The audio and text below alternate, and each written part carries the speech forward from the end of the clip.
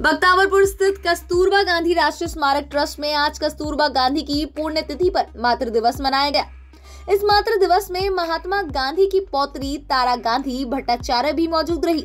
आयोजकों का मानना है कि कस्तूरबा गांधी के जीवन से हमें प्रेरणा लेनी चाहिए और इस दिन हमें पुण्यतिथि मनाते हुए शोक प्रकट ना करके, बल्कि सबके चेहरों पर मुस्कुराहट लानी चाहिए। क्योंकि यदि बच्चे बड़े सभी हंसेंगे तो उनकी सेहत के लिए भी अच्छा होगा। और सबको खुश ही रखना चाहिए।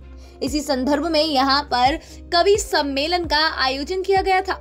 कवि सम्मेलन का आयोजन जाने माने कवि अनिल अग्रवंशी की अध्यक्षता में किया गया।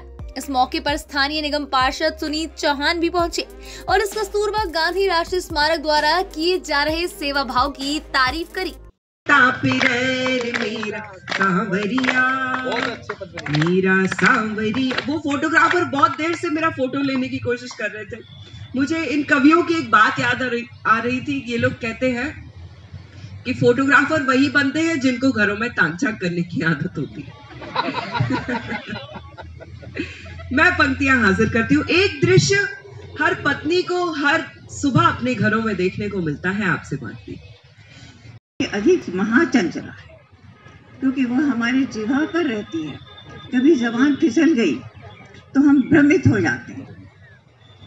तो जो भ्रमित होना है वहाँ हमें सरस माँ सरस्वती को थोड़ा उस पर थोड़ा समझना चाहिए कि माँ सरस्वती हमारी जबान पर खेल रही है। हमारी बुद्धि को चंचल बना रही है। उसके साथ विवेक से काम करना है। ये मैं अनुभव से कह रही हूँ।